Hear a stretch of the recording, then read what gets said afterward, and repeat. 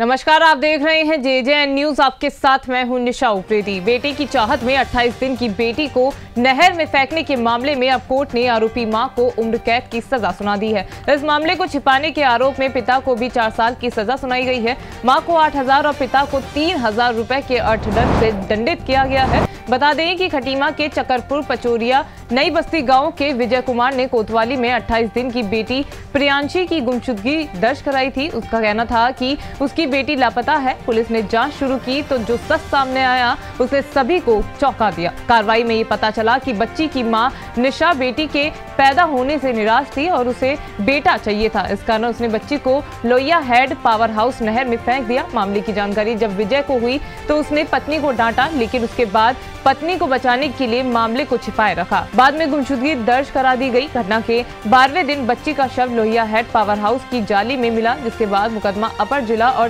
सत्र न्यायाधीश धर्म सिंह की अदालत में चला। पुलिस ने 16 मार्च 2020 को न्यायालय में आरोप पत्र दाखिल कर दिए थे, जिसके बाद कार्रवाई जारी थी और अब न्यायाधीश ने बच्ची की माँ निशा उर्फ़ नगमा को हत्या का दोषी और पिता विजय कुमार को मामले को छिपाने का दोषी पाया गया है। अदालत ने निशा को धारा 302 और 201 में आजीवन कारावास और आठ हज़ार के अर्थदंड से दंडित किया है। तो वहीं पिता विजय कुमार को धारा एक दो के तहत चार साल की सजा और तीन हज़ार रूपए के अर्थदंड से दंडित किया गया है। तो फ़िलहाल हमारी इस खास खबर में अभी के लिए सिर्फ़ इतना ही। बाकी की तमाम खबरों के लिए आप बने रहिए हमारे साथ और देखते रहिए जे जे न्यूज़।